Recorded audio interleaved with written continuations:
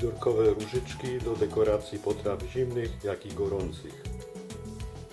Witam Państwa.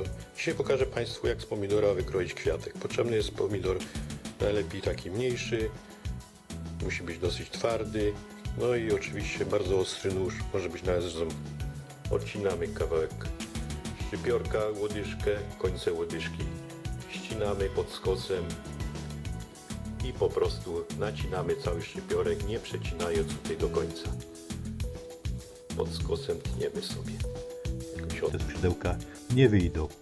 Po rozsunięciu całości powstają nam takie dwa skrzydełka do naszego łabędzia. Musimy mieć tylko ostry nóż i dużo cierpliwości. I na pewno za którymś razem to nam się uda. Ćwiczenie czyni mistrza. Wycinamy z jednego tego dolnego plasterka szyjkę, korpusie wycinamy dziurę, wsadzamy i mamy łabędka szyjką. Łabędkę. Je można sobie wycinać. Jak coś się nie uda, zawsze można przerobić na inne potrawy. Serdecznie Państwa zapraszam. Dziękuję za uwagę i zapraszam na inne moje filmy kulinarne.